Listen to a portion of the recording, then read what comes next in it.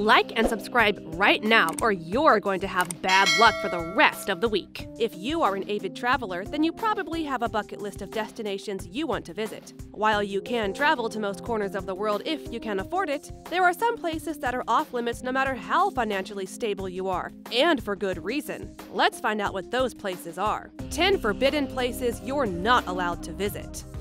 Number 10. Surtsey Island, Iceland.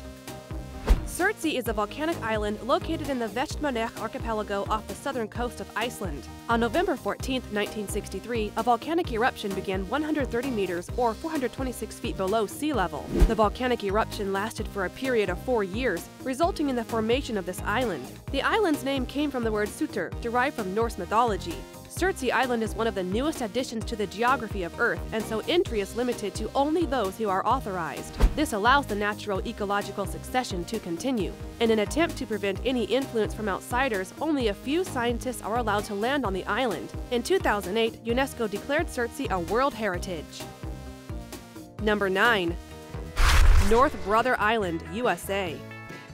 Located in New York City's East River between the mainland Bronx and Rikers Island, North Brother Island is one of the most popular abandoned locations in New York. North Brother Island was chosen as the site for the Riverside Hospital back in the 1850s. It primarily served as a location to quarantine and treat patients suffering from smallpox. Later, however, it served as quarantining sites for other diseases such as typhoid, tuberculosis, and polio. North Brother Island was also the home to Typhoid Mary, the first American to ever carry typhoid fever. Later, this place was used as a rehabilitation center for drug addicts. Currently, the island serves as a bird sanctuary for birds such as herons and other wading shorebird species. The extremely dilapidated buildings, open manholes, and other dangerous circumstances deem the area uninhabitable. If you want to visit the island for educational or scientific research, you would need permits. In addition, you'd need to take extreme precaution to not get crushed beneath the debris of ruins that may fall from above as you're walking along the dock. Number 8. Ise Grand Shrine, Japan.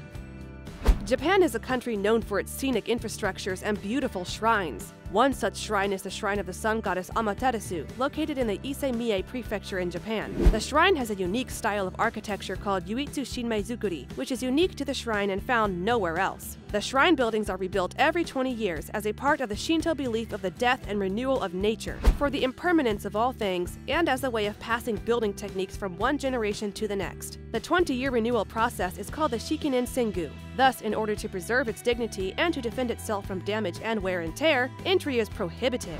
Only the members of the imperial family and chief priestesses who inherit the position and are members of the royal family of Japan are allowed entrance. Number 7. The Tomb of Qin Shi Huang, China. Let's continue on our tour to Southeast Asia and talk about the mausoleum of China's first ever Qin Emperor. Located in Lintong District, Xi'an, Shaanxi Province of China, the tomb of Qin Shi Huang is one of the greatest discoveries made. The tomb is said to have all the essentials and necessary items the king may need during the afterlife. However, an impressive army of over 8,000 terracotta warriors is located near the tomb. Not much is known about the tomb. Archaeologists and historians have yet to unravel the many mysteries concerning the tomb and the necropolis surrounding it. But in 1987, UNESCO declared the mausoleum, as well as the terracotta warriors, a World Heritage Site. In order to pay respect to the ancient site, the Chinese government has prohibited excavation and entry of commoners. Number 6.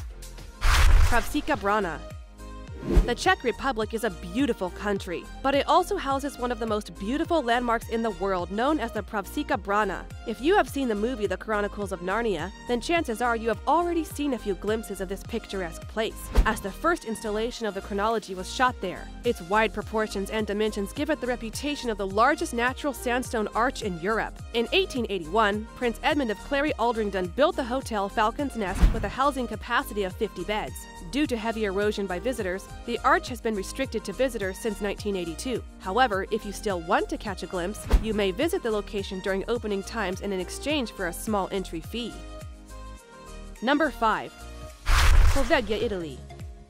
Our next forbidden location is situated in the picturesque land of Italy. The island of Poveglia is an island located off the coast of northern Italy, between Venice and Lido in the Venetian lagoon. The island was once inhabited until residents fled during warfare, leading to its abandonment. Starting from 1776, the island was used to quarantine those with contagious ailments, diseases, and plague. It is said that over 100,000 people lost their lives over the course of a century. Poveglia was not shut off to visitors due to remnant germs and viruses, but because of the dark history associated with the island. In the 1800s, a mental asylum was built there, which quickly became an institution for the mentally ill. With the island being isolated, a doctor took advantage and performed many scientific experiments on patients, some as cruel as lobotomies. The doctor later met his demise by jumping from the bell tower, an act forced onto him by the ghosts at the hospital. Residents nearby say that they hear the ring of the bell, even though the bell was removed years ago. The mental hospital closed in 1968. The island has been vacant since. The fact that more than half of the soil consists of human remnants, and considering the tragedies that took place and the haunted history of the place, very few people dare enter the island. Number 4. Doomsday Vault, Norway.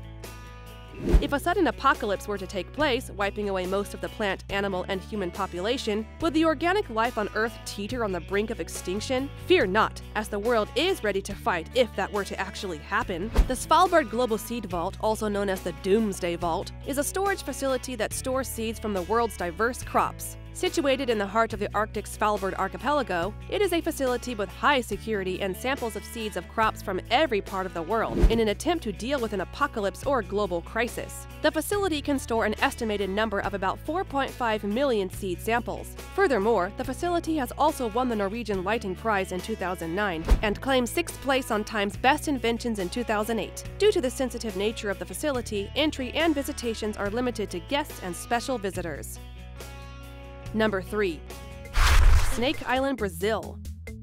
Brazil is home to tropical bonanzas and colorful festivities, but off the coast of Brazil floats an island with a tropical climate and rich forestry, and a population of deadly ophidians. Snake Island, just as the name suggests, is an island in Brazil inhabited not by people but by thousands and thousands of snakes. The deadliest and most lethal species of snakes, the golden lanceheads, are found on the island. Their venom is so potent that a human bitten by this snake can die within 60 minutes. As deadly as lanceheads are, the threat is further aggravated by the residents of various other deadly venomous species. Here's two examples of how deadly this island is. A lighthouse situated on the island required an operator. However, the operator and his family died after stray snakes entered their abode through open windows. In addition, a fisherman's body was found all bruised and covered with cuts. Ever since, the Brazilian government declared venturing to the island illegal. No humans go to the island and it is regarded as a forbidden place. So, unless you want to break some international laws and make some serpentine friends,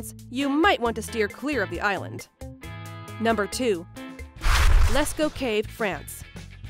Another World Heritage Site makes it onto our list as the number two position. The Lascaux Caves of France is a network of caves situated near the village of Montignac in southwestern France. The cave was discovered accidentally by an 18-year-old youth called Marcel Ravidat when his dog fell into a hole. He returned to the site with three other friends and entered the caves through a shaft, believing that the passage would lead to the Lascaux Manor. They discovered that the cave was covered in numerous illustrations all across its walls. Certain walls that contain similar illustrations of objects or animals are given names, such as the bulls, the passageway, the shaft, the nave, the apse, and the chamber of felines. The Lascaux Cave is a site of rich information and treasure for archaeologists around the globe. The cave complex houses prehistoric paintings that are 17,300 years old. The series of Paleolithic paintings that are still covered by vivid shades cover the walls and depict animals like cattle, stags, bison, and so forth. However, due to the risks exposed to the cave because of carbon dioxide, heat, humidity, and other contaminants produced by the visitors, the real caves are off limits. But for art enthusiasts and interested people, you may quench your thirst by going to see the replica caves that scientists made for research and study purposes.